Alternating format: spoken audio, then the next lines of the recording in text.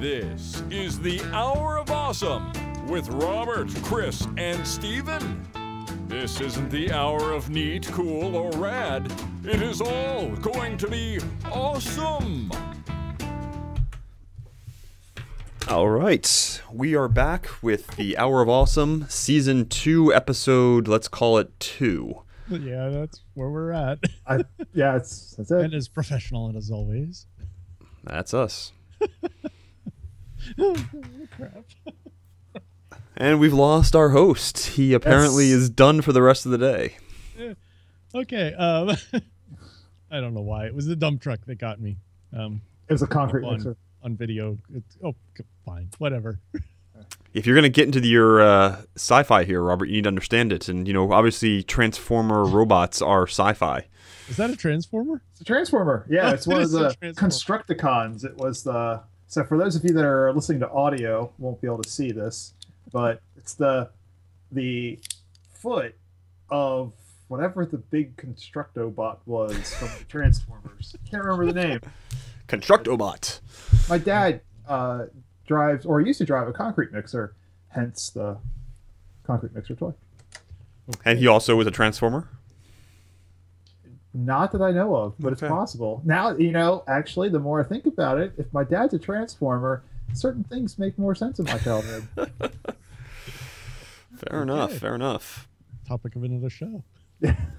um, so tonight we decided what the hell we'd talk about science fiction. Why? Because we needed a topic and we all like sci-fi. Um, so there you go. Uh, and we have absolutely no format. Uh, we didn't decide if this was books, movies, science fiction in general, uh, or anything. So uh, since it was Chris's idea, why don't we go with Chris? okay, yeah, sure. So, uh, I've been a fan of sci-fi pretty much my entire life, and I was thinking about earlier today why that why that is. Now, the type of sci-fi that I like is usually the we were talking of swords and lasers in reference to uh, Tom Merritt's um, podcast Sword Laser, uh, and I'm more of a laser kind of guy when it comes to the actual spacey science fiction. Pew And- pew. Yeah, right. And, and I wonder, I was, I was thinking about uh, why would that be the case? And I think for me, and I think for many science fiction writers, um, it's it's a way of saying that tomorrow can be better. Right? It's an optimism for the future. Now, there's lots of dystopian sci-fi that I totally like, right? But there's always sort of like in dystopian stories, there's always like, or often this turnaround, things get better. So I think I like sci-fi because I think about you know in the future life can be better, better than what it is right now. You know, We can have a Starship Troopers kind of uh, military dictatorship kind of an idea. That's a good way to go. Well, you know, I'm not really focusing on Starship Troopers. I'm thinking more of the uh, the Star Trek kind of uh, you know way, or you know, but ultimately, I guess I don't know if their life is better than ours. It's still the human condition. But I think that a lot of people look at science fiction and, and think, you know, there's promise in tomorrow, right? And this is what it could be. And and, and you can also think of science fiction, and in that regard too, as like an experiment you know, as the author, if it's a movie, book, video game, it doesn't matter what it would be, and saying, you know, if this turns out to be the future, what would it be like? If we pursue this, right? And you can see these different storylines, Star Trek, you know, for example, just, uh, you know, Babylon 5, uh, whatever the case might be, as, you know, alternate futures and as experiments, you know, what could life be like uh, if this happened or if that were to happen? And I think that's what really draws me to science fiction in general is this sort of typically um, optimistic view that things could be better. See, it's Okay. interesting. Uh, you know, I hear that, and I, I can buy that for one-off stories. So Gattaca, it's a great uh, investigation of the idea of what does it mean once we get into genetic testing, and we can actually do something with it because we're getting closer and closer to that point now. And so that's a great story. Star Trek. I, I don't buy that human condition future thing because I think the more and more you have to start mining this and going into you know movie after movie or show after show after show, um, I think you lose a lot of that and it becomes I, I don't know I don't I don't feel that same excitement about the future kind of an idea that, that I think that you're suggesting. Well, Oh, but Star Trek I was thinking about what utopian. Chris said, and I mine's broken down by genre. uh, or medium, I guess it would be. Uh, in my books, I hate that kind of sci-fi. I want the dystopian, nasty, Philip K. Dick. Everything's going totally to crap, and there's nothing we can do about it. We were screwed before we started, kind of sci-fi. But in my movies and TV, if I don't get my happy ending, I'm like really unhappy, and I'm not quite sure why that is, because I don't. I hate those kinds of books uh, that are all wrapped up all neatly and tightly at the end. But if it's a movie or TV and I don't get my nice Hollywood, perfectly packaged, you know, right off into the sunset, Princess Bridey kind of. So there, there's a perfect example. Princess Bride, not sci-fi, but in the book they fall off a cliff at the end. I love that. In the movie, they ride off happily into the sunset, right? You know, and I love that. And if it was the other way around, I would have hated them both. Which, interestingly enough, the movie came before the book too, so that was an interesting twist to go that direction. Did it? Yeah. He wrote the book as an adaptation of the screenplay that he wrote. Goldman. Yeah. Right. Yeah. I am So, see, 98% I thought sure he on wrote it around the same time he wrote Stepford Wives. So, yeah, I can't remember. Sorry, Not, not important. total sidetrack. But I don't know why that is with me. You know, hearing the the both of you talk, the way you guys are explaining it, both your points of view, are way more reasonable than mine. Okay, I was wrong. You, you were 100% correct. The book came first. Oh, well. Oh, okay. Um, yeah, I just remember seeing it significantly before the movie came out. Um, but anyway, uh, but I like so for my movies, my movies and my TV, I prefer Chris's uh, view of hey, things can be better. You know, we can be better than we are. Uh, even the stupid crap in Star Trek, like we don't have money in the future, right? Kind of thing. Just like, oh, what a load of crap. Nothing, everything would fall apart. But I like that in my Star Trek. I hate that in the book. Um, so I, I I have no idea why. So I'm kind of on both sides of your fence, but it's it's totally based on whether it's a visual medium or whether I'm creating the story in my own head. Maybe that's because I'm a more broken person, and so the stories in my own head have to fit my little more broken view. Uh, or I don't know. The other one I see is more escapism, and I prefer happier escapism. Know, where books are like real life. So I don't know. I know that makes no sense. Didn't say it did. You should see the weird look Steven's giving. You're like, I have no idea how to respond to this.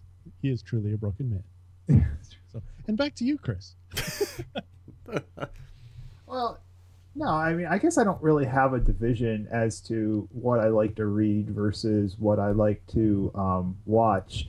Although, when it comes to reading, it's it certainly is um, the more futuristic science fiction. If I'm watching, I'm okay with fantasy. I'm okay with that kind of stuff. Uh, but when it comes to reading, uh, late a lot of the science fiction that I've been reading has been the Jack McDevitt books that are this uh, sort of alien archaeology set in the future, far future. The Alex Benedict series is set like 11,000 years from now, right? And he does it in a way that is that what we're going to be like 11,000 years from now? Yeah, probably.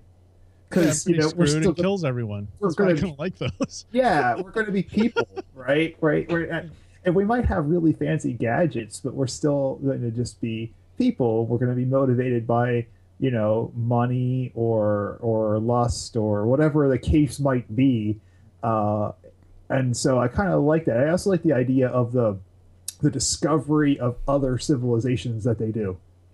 And in his latest book in the Alex Benedict series, I think it's called Going Home. It's kind of cool because a lot of that book takes place on Earth. So most of these other books don't. Earth is just another planet, it's the home world, whatever. It's taking place on this planet called Rimway or wherever else they're they're going. But this particular book, what he does is he almost gives you a future history of the Earth. Uh, because the main plot device for the book is looking for uh, for them ancient space program artifacts so like the apollo program and stuff like that and what happened to those artifacts during some pretty difficult times on the earth around the year 3000 give or take can't remember the dates off the top of my head they, they get lost and and so i kind of like that part of the book where you're sort of thinking ahead of what could be the future and i don't know i, I think that's what draws me to science fiction is that uh, optimism what could be Do you want? But do you prefer the more they tend to classify the more hard science fiction, or at least the science is more plausible? Or are you fine with the total fights of flights of fancy? I'm okay with both.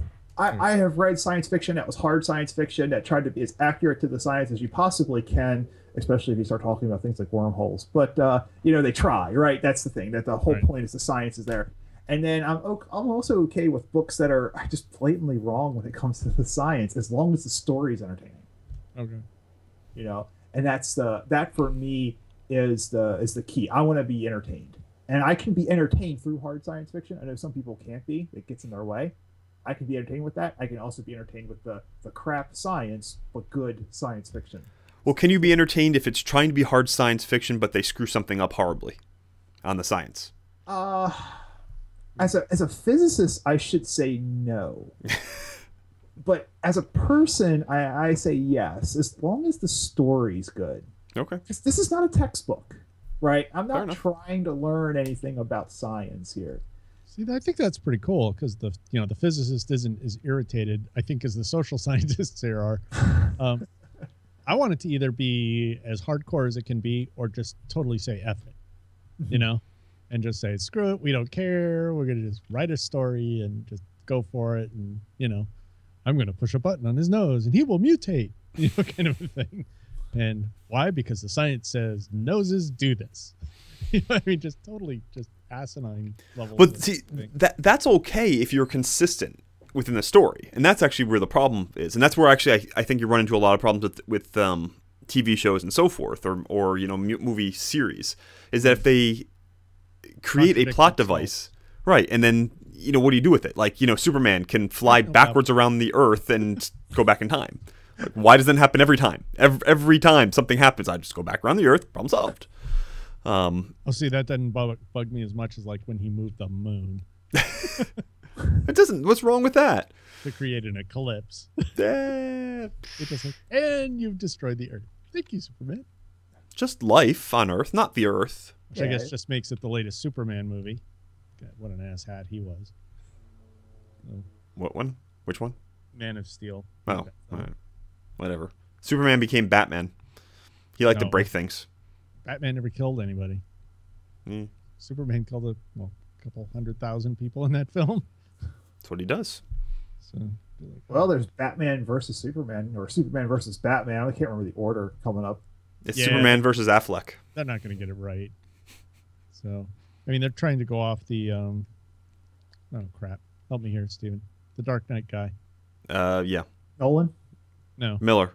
Miller, Frank Miller. Oh, Uh, you know the uh, his his graphic novel series. Hmm. Uh, well, the best part about that, quite frankly, I thought was the one-armed Green Arrow shooting a kryptonite arrow into Superman. You know, it was like, whoa! And Superman tore his arm off. Yeah, well, that didn't work. He's got teeth. Back arrow with his teeth. Uh, so it's like Superman's brutal and kind of a tool. Which is why the uh, Suicide Squad movie actually might not be awful if they do it right. Though I have no faith that they'll do it right. But Oh, dude, you just want your Deadpool. So, did you see the Mother's Day thing? Yep. Deadpool. yes. That couldn't have been well more offensive. that was kind of the point. Yeah. So, uh, listeners, if you haven't, just do a quick Google image search Deadpool Mother's Day. It should be the first thing that pops up. I can't believe there'd be too many other images that would pop up with a joint search of Deadpool plus Mother plus Day. I, yeah. so, where do you guys put superhero genre stuff? Completely It's not- separate. It's not really sci-fi. It's not really fantasy. I mean, it's well, if you had to pick one, it's way more fantasy than it is sci-fi. Yeah. but but I wouldn't classify that as fantasy either, though. I mean, Well, it's not. It's not Tolkien. all right. It's its So own thing. Uh, but let, let's be clear about something here. Um, because of the uh, rights issues that Marvel got into, you know, when they were selling off all their rights to all their stuff, Yeah. all of the movie series that they currently have now is actually attempting to be sci-fi.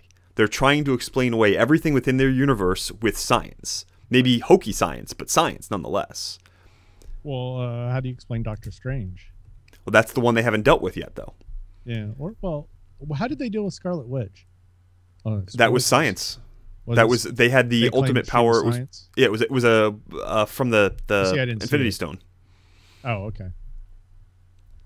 Which I guess we're trying to claim as science. Well, the way that they do it, they say it's a supercomputer.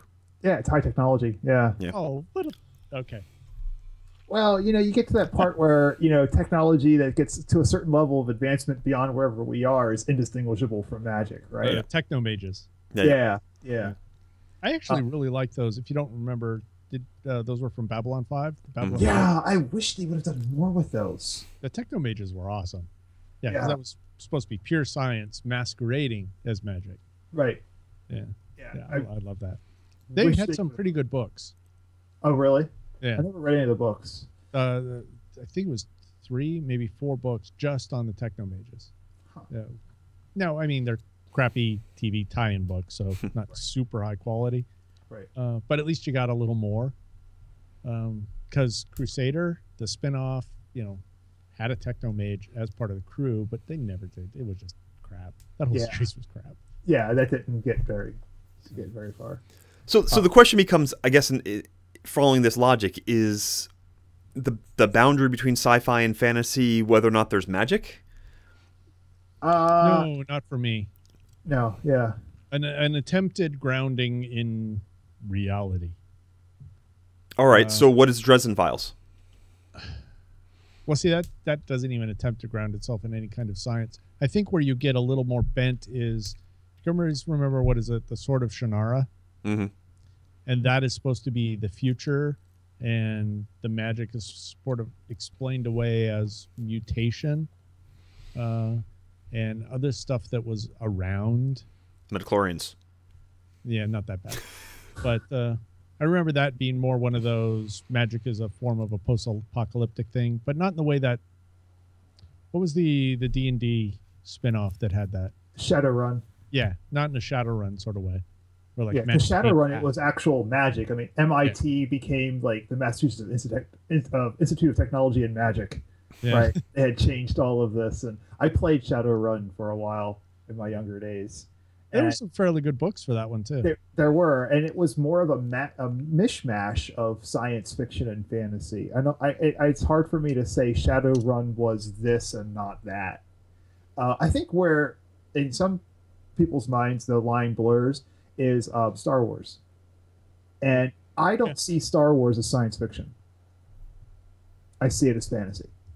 Yeah, well, it's the hero's journey, so which is Right. typ- typically more fantasy. Yeah. Right. Because science has really very little to no place in the movie, in any of the movies.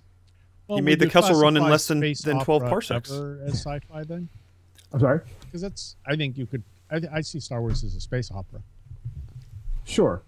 and Uh, I can't think of any sci-fi, sp- any space operas that I really think of as sci-fi. I think of them almost in their own category. I It's have like um, uh, high fantasy when you do like Tolkien level stuff Mhm. seems to be almost its own category. Mhm. You know, comparing that to like the Dresden Files, which is I, I love that stuff. Um, uh, It's 'cause popular. one, he's a great writer.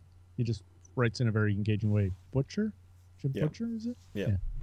Um, and I, I like fantasy crap. um, but those the I don't know, maybe it could be a little bit more nuanced because what happens when you add um, like sci into stuff? Mm-hmm. Because frequently those tend to be more psi-fi ish uh, than fantasy ish kind of books, but and there's a tenuous attention attention to science sometimes. Um, but those again, do you really think of those as sci-fi? Because I really don't. They just seem to be mental magic books right. that Now, just a- more contemporary than fantasy setting. there was a heated conversation I was a part of that at a, on a cruise ship. Uh, There's a good place to get in an argument. yeah, yeah. So there was a science fiction quiz, like that was like one of the the activities for the people who didn't want to go out and be in the sun. and so it was a uh, sci-fi uh, so quiz, and I had made the comment because I had somebody brought it up. I had made the comment that uh, you know Star Wars wasn't really science fiction, and you would have thought that I had done some kind of blasphemous act. You You know, had right you there. never crap on Star Wars, man. I was not crapping on Star Wars. I like Star Wars quite a bit, But in Star Wars, science doesn't take the role of solving problems. It doesn't take any role at all. No, you're Right. talking. It's all about faith. You, Right. you linked a, a what could be taken as a negative comment with Star Wars. Right. Well, I mean, I'm Sorry, sorry. rape their childhood. Essentially, mm. would be the way they'd put it in that horribly overblown way. I hate that term, but they say crap like that. Right. But I mean, it's just I do not see it as science fiction. Um, as much as I, I like the, the movie, I like the franchise. Uh, just it's it's just not science fiction. Yeah, well, clearly because they ripped off the Bible. okay. So what's Firefly? Uh, Cowboys in space. Yes. Yeah. But that's what I'm saying. So again, does it fit into science, sci-fi, or fantasy? I don't think it's either. It's a western that just happens to have starships, Yeah, spaceships, yeah, it's a western. It's a modern It's- western. right? Yeah. Or a postmodern western, With, with yeah, with swearing in Chinese, you could get it past the TV censors. Right. Well, you know, and I think what a lot of people do is they say spaceship must be sci-fi. Yeah. We can't hear you anymore. Oh, You went so far away. They say, I'm sorry about that. They say uh, they see a spaceship and they say, "Oh, this must be sci-fi." Mhm. Yeah. Right? They just link that together. Um, Although there's about- a great fantasy series where the guy lands on a planet in a spaceship, and then you never see spaceships or any kind of modern technology the rest of the thing, and it's all magic. and I really love that because I think that was a total fu to that idea that well, there was a spaceship in it, it must be sci-fi. Now I will have a ten book fantasy series, but I'm going to say it's sci-fi because I started with a spaceship. I can't even remember what it was, but I, I like it when you know the um, authors will mess with people that way you know, Okay. just so they can classify things differently for like catalogs So, Steven, what about you? I don't think we've quite gotten around to you yet directly as to Hmm. Yeah. what it is you like. What do I like? Um, I would say I would have read probably more fantasy than sci-fi. I liked sort of the magic piece because it's not real. You know, I guess I guess sci-fi could be real, and I don't like reading real per se. Um, well uh, let's back up a little chris said he's been in sci-fi all his life when did was it the same for you because it was not for me Oh, I mean, I read that stuff from yeah. That was what my dad read. My dad was a hard was actually a a more sort of a hard sci-fi sci-fi guy, um, and so I read it read that stuff. But I branched in and read all this this fantasy stuff, which he never picked up much of. Uh, though he would read like sort of Shannara or something like that, so he would get a piece of these things. But I read much more into the fantasy side, and he would read this the sci-fi side, and I'd read the sci-fi stuff too. Uh, though I have fortunately didn't read that ten book series by uh, L. Ron Hubbard. Um, he, I, I remember it sitting on the shelf for the longest time. I'm not sure if he ever read it, but he bought the whole series, and I can remember seeing it on the shelf for like a decade. So I had the whole series fit the sent for space. free. Yeah. he had a shelf to fill yeah. and he wanted a common color scheme see my first exposure to sci-fi was uh, star wars and then alien um, mine was movies uh, but but you just said that Star Wars wasn't sci-fi. Just you're you got to be consistent, man. oh no no i'm saying my first exposure to any of this crap Oh, okay. uh, then Battlestar Galactica on TV. So all around that late, mm, what is it, late seventies Yes. uh, kind of stuff. My first foray in like books uh, was Lord Foul's Bane by Stephen R. Donaldson. You know, at like eleven, I think I was. Um, so it was um, these kind of semi-twisted fantasy books. Okay. Uh, with a from with a very dystopian view of, of I mean for fantasy that is not uplifting fantasy. That is everything's going to shit in my personal life and everything's going that way in the fantasy world too. Yes. And I got leprosy and wow it sucks. But white gold. yeah. So I mean it just all very bizarre. Yep. Um so and then I guess after that would have been William Gibson and Philip K. Dick novels. Yep. Uh, so this kind of really downward spirally stuff. Um, but no- for me, it was it wasn't uh, written form um, until I got to junior high school, and then because I, I could barely read, uh, could barely spell, and then had an English class where your grade was based on how many how many pages you read. in books. And it was like I finally have control of my grade and get an A in English. just started reading everything I could my hands on, and you just had to give book reports, and it was like awesome. So I read all the time then, um, and then got addicted because well, that's the way my personality goes. Um, So you decided to read all the books ever published. I've read a lot, man. He has. I can vouch for that. Yeah. yeah. Um, by the time I got out of high school, I probably had forty thousand books. So, um, yeah, I had a lot of books. I've seen the rate that you've bought books on Kindle, so I can I can believe that. yeah, I was reading two or three novels a night uh, for a while there. I, I read very quickly. Um, mainly, it's because I had to feed the beast uh, and get this crap crammed in my head. I also read things multiple times, like the Amber series by Zelazny. Um, really small books. You know, wouldn't even be considered novels now. Novellas at best. I've read those probably a dozen times, the whole series. Um, found those when I first went off to college and discovered the glory of the used bookstore. and it was just like, oh, much better now that I have to actually pay for my own crap. I can't mooch off mom and dad to get my stuff. Those are Uh, dangerous. Those used yeah. bookstores. Yeah. So yeah, they loved me. Sell to them at quarter price, buy it at half price. Sell? No, you don't sell. Oh, okay. That's the way we went through. I never kept a single book. Oh yeah, it's been very hard for me to give up my books. So I'm now down to, I've really pared down my collection. I still have every Doctor Who book ever made. Uh, why? Because I just can't give them up. I don't know why. Uh, yeah. So what? no, Doctor Who? I'd call that fantasy. So, to me, and there's definitely spaceships and aliens and crap involved in that. But I don't know. I think my my lines blur based on more my feel of the material than what actually goes on in the material. Okay. I, I you know, and I think that a lot of this is true for most people. Maybe they realize it or maybe they don't realize it. That what how you separate science fiction from fantasy is is very much um, an individual, and usually interest in one. I shouldn't say usually, but often interest in one leads to interest in the other. Uh, one of my earliest memories of the genre was actually fantasy because my mom, when I was a kid, my mom would read to my brother and I at night. And one of the earliest books I remember her reading to me was um, The Hobbit. And then we got into the Lord of the Rings trilogy and all of that. And that really helped sort of get me interested.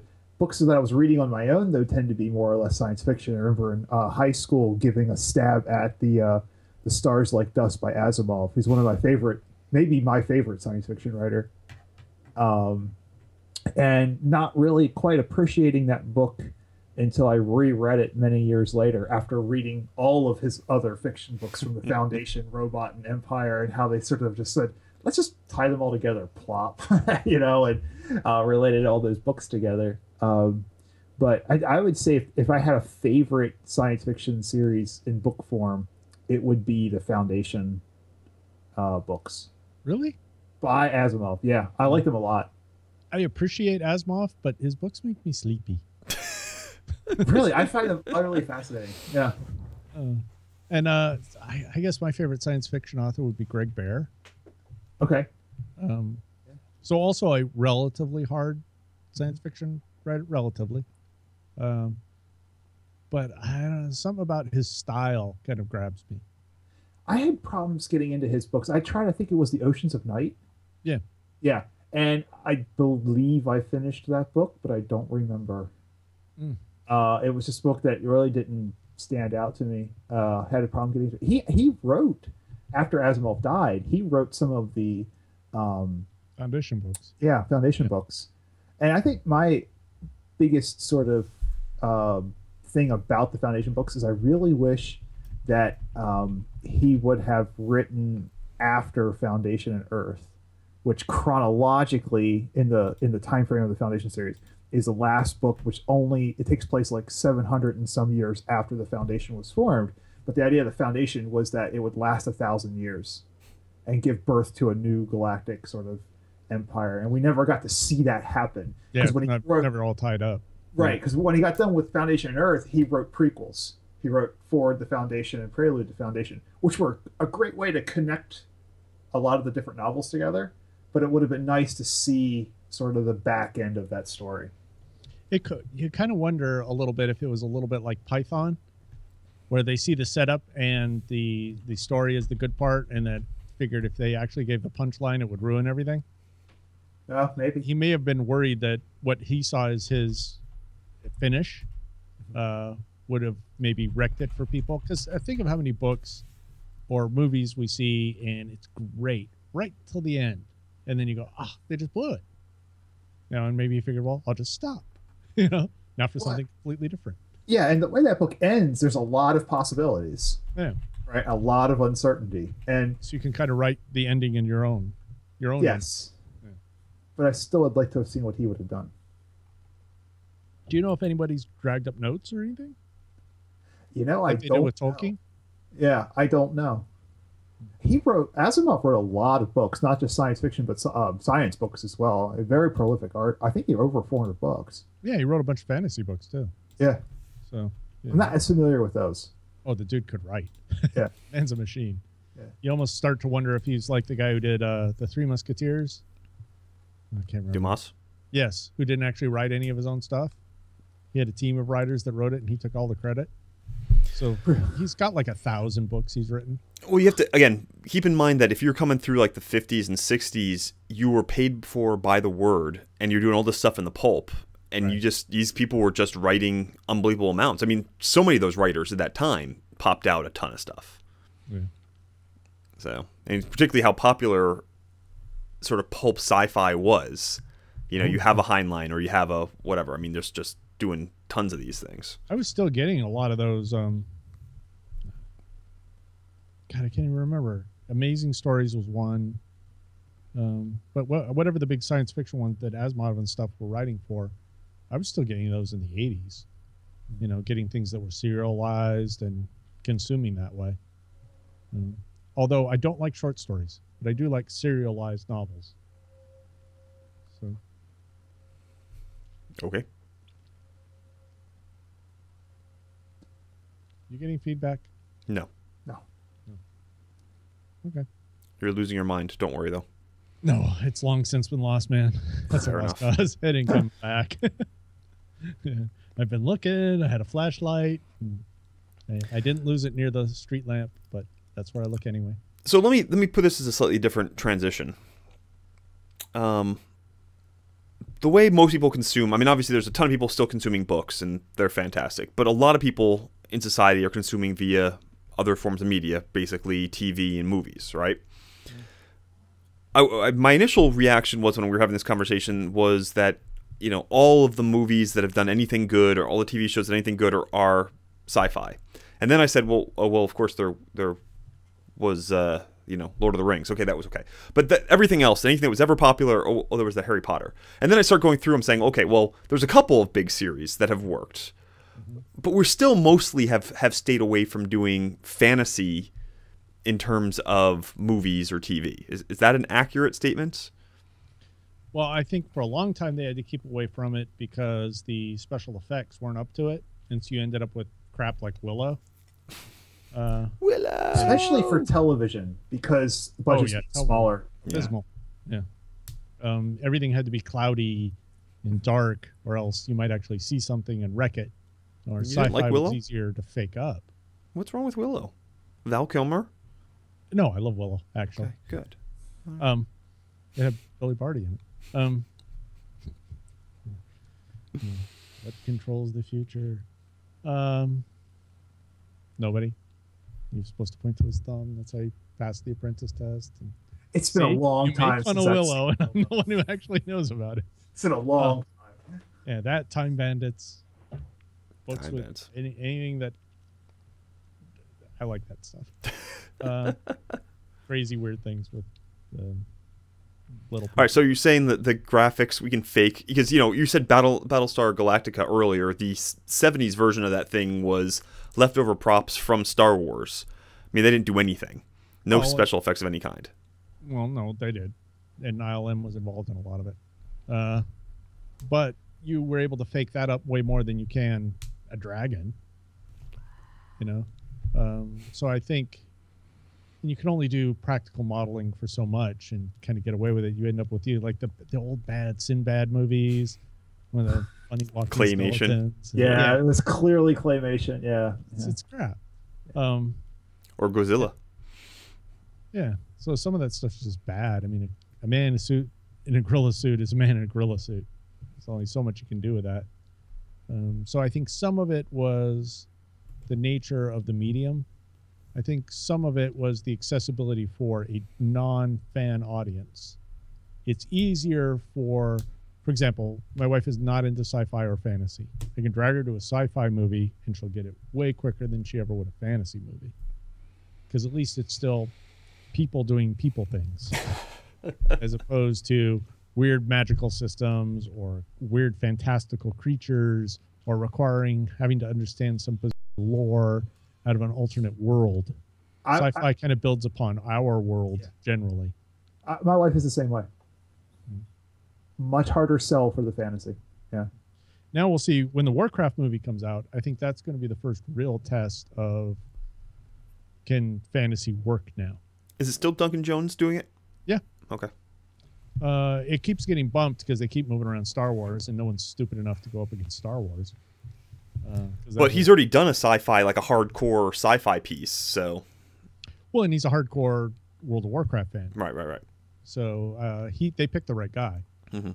But I don't think I think it will either succeed or fail on whether people will watch fantasy movies. Because Lord of the Rings had an audience kind of built in. Uh, it was epic in the way it looked. You could still kind of relate to it on a human level. Um, But if they get their 10 Fan's million pretty- subscribers, they get their 10 million subscribers to pay ten dollars for the movie ticket. You've already made a ton of money. Well, it'll open well, Yeah. but will it go to a general public? I mean, it's not going to do Star Wars money. Well, it's not going to do Avengers money either. No, no, um, no fantasy, because Harry Potter. It's a boarding school man. movie. Yeah, It's, or it's a book about boarding it's a school. coming of age it is. thing It about is. kids, Yeah. and uh, so now, if we wanted to call the the god awful sparkly vampire crap fantasy, then I guess you say yeah, there's a super massive audience and uh, people that will go to watch this stuff because Twilight went huge. Yeah, but Twilight, the fans of Twilight are the same fans of Fifty Shades of Grey, since they it is a fan fiction anyway. I don't. I wouldn't know. It is. Yeah. Oh, absolutely. Yeah. So, um, and vampire porn tends to do well. And Rice. Uh, but so I don't know if you can really count that as fantasy though. So I don't know if it's ever really been tested because I don't consider the Lord of the Rings a test. I think you have to take something that doesn't come from an established book series with a built-in literary base. You know, Well, because Harry Potter, people were into that damn book, and it's a it's a, an incredibly engaging book. right. So, yeah, I think this will be the first test because there are Warcraft books, but people don't go into Warcraft because of books. They, you got a bunch of Warcraft, you know, video game fans who then want more lore, who then read the books. I don't think those books are a gateway drug to the online game. Well, and a lot of these things evolve too. So let's go back to the sparkly vampires, right? So with Dracula, when Bram Stoker wrote that, that was horror, right? And the first vampire movies were horror. So it wasn't science fiction versus fantasy. This was a horror genre, right? Is what this was. And so, but over time, the vampire sort of got neutered. And what happened with the vampire was things like Buffy the Vampire Slayer, which I love that show. Mm-hmm. Yeah. Okay. But this is no longer the vampire. is still a, a, a bad guy, Yeah, but, But it's don't- horror. but it's not horror, right? And, and yeah, and and that sort of is the bridge of the vampire becoming less horror, and like going to Twilight, Yeah. right? And, but you see TV shows too, like you know Forever Knight. That's where the vampires were, both horror and human. Okay. Yeah. Another bridge. Yeah, that was a good series. because you know Lacroix was for TV. awful, right? Oh, he was a an complete awful being. Yeah, a horrible being, right?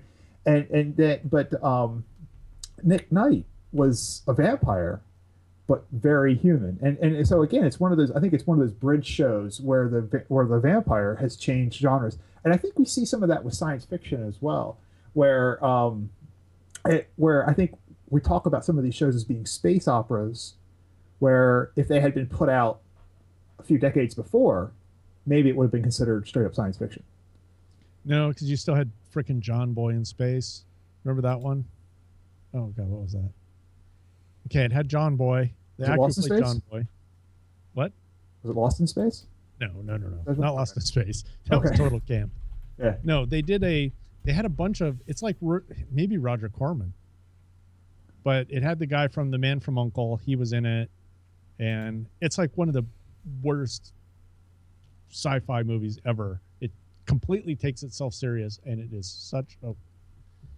I will use this mystical thing we have called the internet to find it. Yeah, because I don't know what you're talking Boy in about. space yeah. was. We just ignore them and move on. It's for the yeah, best. yeah, yeah, that's probably for the best. But do you see? I guess what I'm trying to say is that these things evolve, and how we classify these things change. Battle Beyond the Stars. No idea. No idea. Yeah, Well, okay, so let's go a different direction. What was Wizard of Oz? wasn't that like about politics? Well, okay, if everything is about something else, I mean, that's it, it is that way, right? Isn't sci-fi supposed to be that way? Good sci-fi is telling you a different story, you know, or it's telling a modern day story, but set in the future in order to give you parables. I'll give I you. I'll, I'll I give don't think Wizard Dick of Oz was- fantasy. You don't say what now? I say I it's don't fantasy. think there's a complicated subtext to a Philip K. Dick story. Fine. High fantasy, high sci-fi. Well, I know that was the whole point behind a lot of Star Trek. Make these things palatable, uh, dealing with potentially hot button social issues, but you dress it in sci-fi, and then everybody can like go, "Oh yeah, but it's sci-fi." You know, the whole uh, interracial kiss thing Mhm. and that kind of stuff that they do in um, Star Trek is kind of famous for. yeah, well, and science fiction is, is a good medium for that. Yeah, yeah, you can explore anything you want. Well, ex- as you said at the beginning of this, For example, you started with Starship Troopers, uh, You started. which I don't believe was about a military dictatorship. but it's a totally different issue. it was um, Rome. No, it wasn't. Yes. No, you had to have military service in order to have the right to vote. Yes. That's Rome. No, no, Citizens. was- It's not the way Rome worked. I was there. Anyway, you were that. Yeah, you short little man who had lead poisoning. uh, fall of the Roman Empire, aqueducts. Um, yeah, th- I, I think a lot of people for a long time have used these as alternative ways of exploring things. Uh, what is it? Left Hand of Darkness, uh, Ursula K. Le Guin. Is that how you say her name? Um, that was the one with uh, with three genders. Uh, but it was a Uh, sci-fi yeah. story as a way to explore those kinds of issues during an era where you talked about any kind of um, you know other sexual preferences or, or uh, sexual identity issues, and so you'd be roasted. Mm. You know, she was able to put it in a way that you could start to explore some of this stuff without people immediately going, you know, burner witch kind of a thing. Um, so yeah, I, I think that's I think that's true. I don't think fantasy really does that.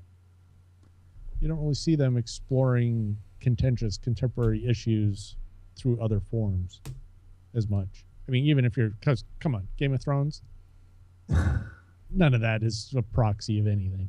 I don't. I don't get HBO, so I've seen zero Game of Thrones. Most Uh, people watch Game of Thrones don't get HBO. Yeah, well, well, that's true. most pirated show on television. Yeah. Yeah, well, yeah, trying to be on the up and up and all, good citizen. But yeah, but you're right. I, science fiction has multiple times explored um, what are very controversial topics. Uh, one of the things that comes to mind, an additional example, uh, Battlestar Galactica, the newer one. Right. Uh, there was an episode where they looked at suicide bombing, and this happened to be at a time where this was big in the news because of what was going on uh, in the Middle East, and so um, still is going on in the Middle East. But uh, they basically were trapped on this planet. They thought they were going to settle there. They thought they escaped through the Cylons. Everything seemed to be good, and then lo and behold, of course, the Cylons come back, and they're taken over. They take over the government, so on. And so forth. The people who were part of the Battlestar uh, want to fight back. They're in no position to because they're overwhelmed by military force. Right? There's no way they don't have the manpower, they don't have the weapons. They just don't. They cannot do this. So they resort to suicide bombing tactics and it was an interesting thing. It really resonated with me because you know at the time you're looking at the news, uh, at least you know as, as, an American, you're like, oh, I can't believe you know people would would go do this, and then all of a sudden, and and and, and we certainly you know weren't the media was not something we were rooting for these people, right? I mean, these were doing awful things, right? But then you're watching the show and you've been rooting for the Battlestar, right? You've been rooting for this crew fighting against these odds, and all of a sudden they start doing the suicide bombing. And as a viewer, I have to say, as a viewer, consumer of media, it put me in probably the most uncomfortable position that media has ever put me in. And I didn't know what to do. I was watching the show. I'm thinking, first, it's great television. All right. It's great storytelling. And second, I was uncomfortable as hell. Because I don't know what I should be doing. Uh, also, uh, in that vein, too, is the show Continuum. When that first came out, yeah. um, that was a show where, you know, uh, the female lead character was a police officer in a not so good regime in the future, which was the acceptable sort of corporate driven, corporate ruled kind of thing, right? And um, she comes back and she's supposed to be the good guy, and the terrorists are actually fighting for enhanced freedom, breaking from this corporate structure, right? What we would label to be good things in our society, right? In our culture right now. And no, I want corporate controlled future. Yeah, you want corporate controlled. and so that's a show that, especially the first couple of seasons. Sorry about that. The first couple of seasons, um, I, I felt just very odd while watching it. Maybe I thought about it too too much but it was like, who should I be rooting for here? You got to get what you want to get out of your own media, man. If you yeah. get if you enjoy it in a certain way, it's right. Yeah. yeah. So I like that show, and unfortunately, that show is is is on the outs. Uh, I think it's been renewed for six more episodes starting in July. So at least just it wasn't just finish it up. Yeah, they, it's like alphas where it's just like done. you know, we'll end it here, or a Revolution that was uh, just you know Alphas was finally getting good. Yeah. well, they cancel just, these things just about the time I start to enjoy them. They're they just announced that they're only doing 13 more episodes of Person of Interest. Similar idea, which that was a show that went from being watchable to not at all. But yeah, yeah continuum is awesome. You guys have not seen the new Daredevil? That is oh. truly cool television. Yeah, so we're kind of stepping away from sci-fi here, but yeah, I've seen the first three episodes. Uh, outstanding. I have to get Netflix some month or. I saw the whole thing now, and I sort of binged like the last five. There's I think there's only 12, 13. Yeah, there's like I think there's 13 episodes. Yeah. And some of the best TV I've seen. So I like this now that TV is now what movies used to be. Some of the best stuff's on TV and mm-hmm. movies now. Mm-hmm. A lot of times are just like fluffy, overpriced crap. I mm-hmm. can't believe that Furious Seven would be fluffy, overpriced crap. Well, no, of course not. it's not fluffy. There was things dri- people driving fast and things blowing up. What more do you need in a movie? That's how you defined what you thought was a good movie. That's true. well, I did. I've grown since then, Steven. I dragged my wife to go see the first GI Joe movie. And, and you're still said, married. What's it about? And I said, "Shit blows up." She said, "No, what's the plot?" I said, "That's the plot." I said, "What else do you need?" and and and I was there was truth in advertising. Yeah. and I loved every moment of it. So his brain turned off, crap blew up. It was just one big spectacular set piece. Um, but so you should enjoy John Wick if you haven't seen that. I I really did enjoy that film. Yeah. I haven't seen it. That was a spectacular. Was there, he had three good. lines of dialogue in that whole film. How can you go wrong with a Keanu film with three lines of dialogue? Yeah, but it was it was much better than that film had any right to be. I mean, it's beautifully shot. Mm-hmm. So it's a spectacular. Well, considering that it's directed by the stunt coordinators from The Matrix, like I mean, it does. There's no reason why it should have been put together the way it was, but it was. So it reminded me, as far as visual something visually that I just really enjoyed, uh, like the the first Raid movie. Mhm. It had that same constant, you know, adrenaline rush, just looked spectacular, kind of thing. Uh, even though it had more downtime, Mhm. I, I would I would say it had more downtime, but it still worked. The emotional overtones of this whole this crap with his wife, it was just like, yeah, well, come on, go kick someone's ass. That's what I'm here for. Get away with that. I was actually- motive. Following an interesting uh, I killed your dog. That's enough motivation. Let's go.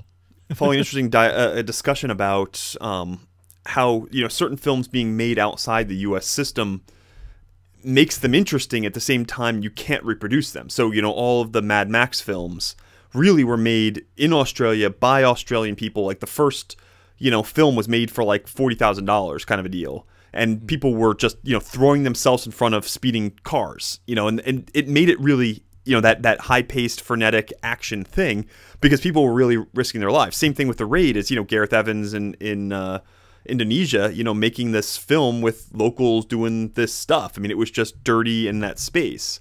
You know you try to drop that thing into the us in the us system or vancouver you, whatever you, you just can't film it that way. You can't get the people who are as the same anything.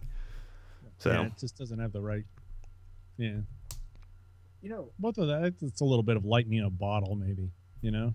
Well, I mean, shit. Now, now that we have uh, all of these Mad Max films made across f- four decades, basically, all with the same director, and all actually quite Is the new interesting. one out. Yeah, this Oh, weekend. This see it? weekend. This weekend. No, I haven't seen it. It's coming out this weekend.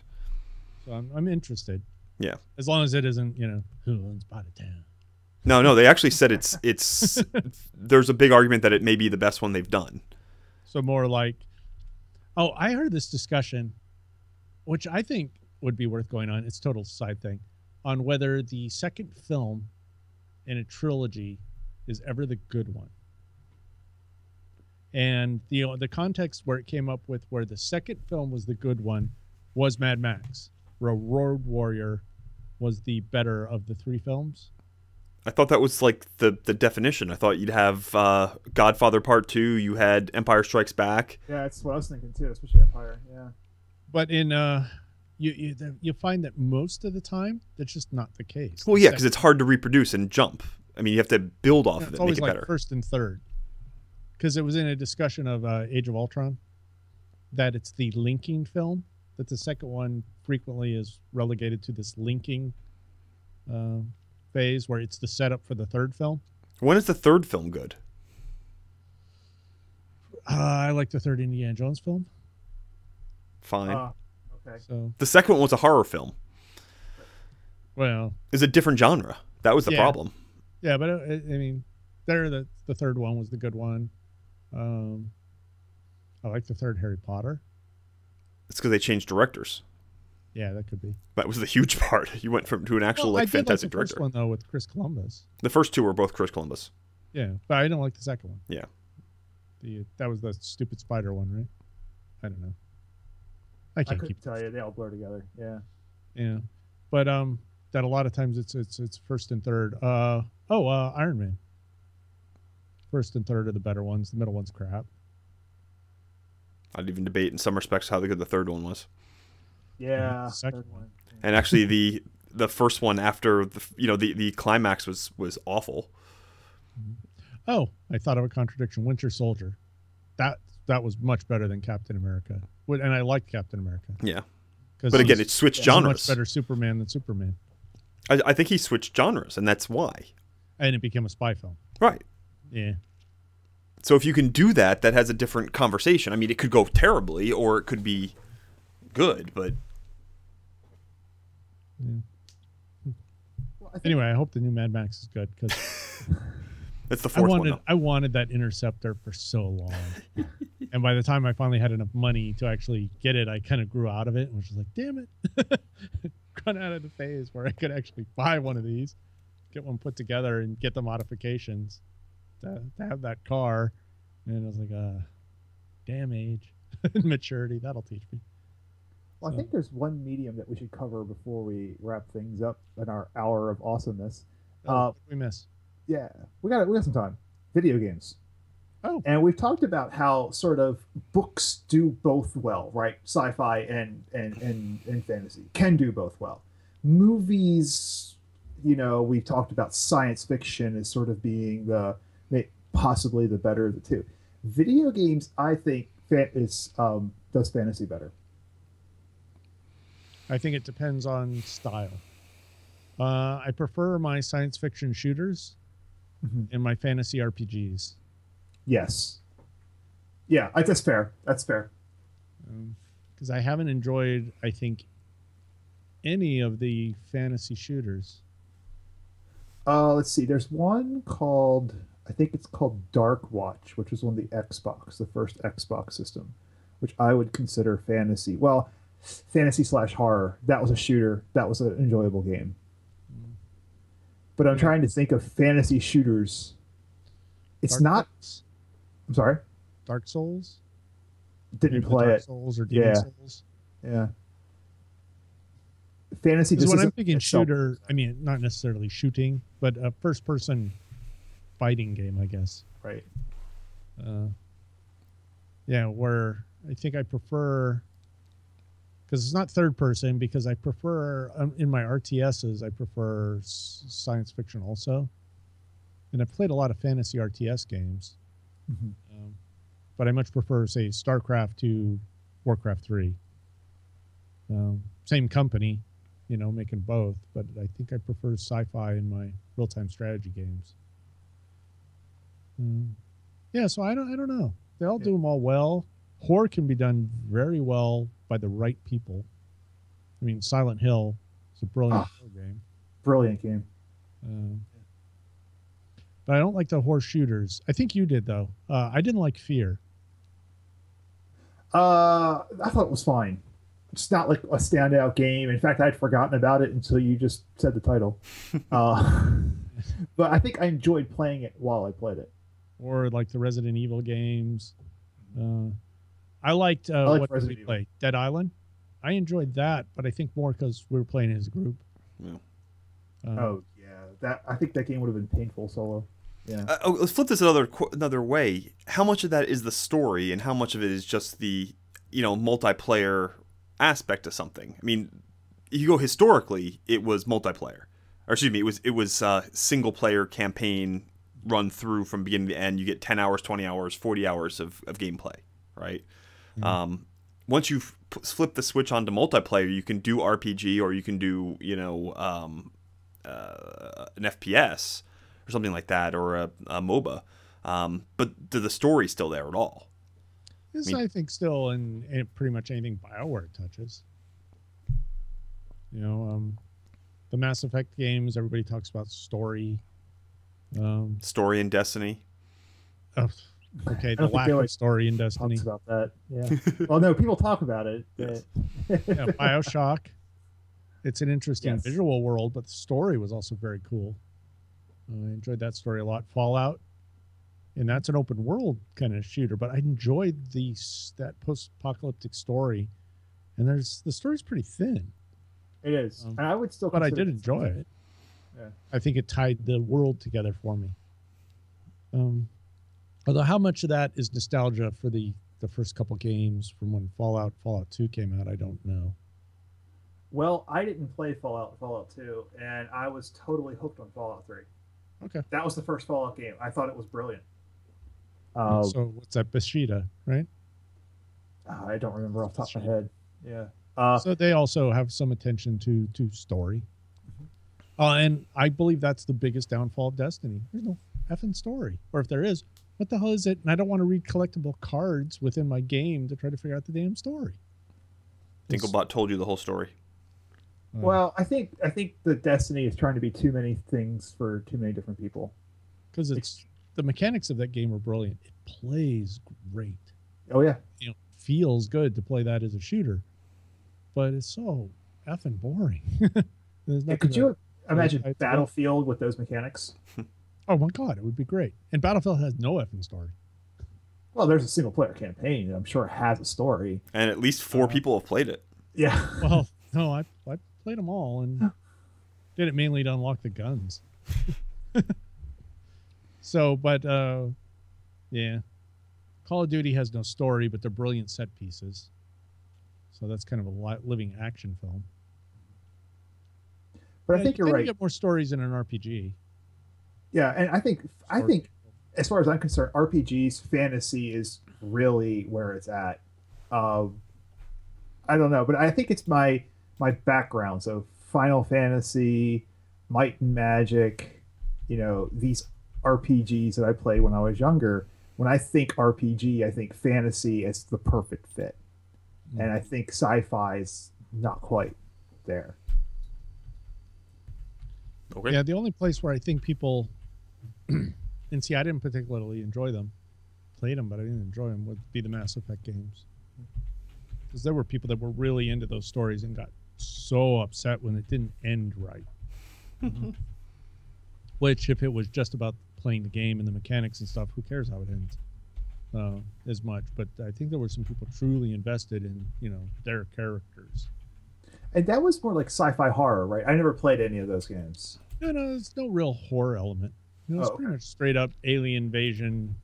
It's basically the same as the. Oh, people would be so pissed hearing me say this. It's the same as the Halo story. Uh, Great, this is where we generate views. Yes. the you know the super civilization from elsewhere coming and nuking everyone. Uh, and Spoiler humanity is the only hope because we're all jingoistic, you know, buttheads that can believe you need a human being to fix things. Um, yeah. So, but I like the Halo story. So I think that's kind of cool. Um, makes takes it beyond just being a shooter. So Mhm. that and the music.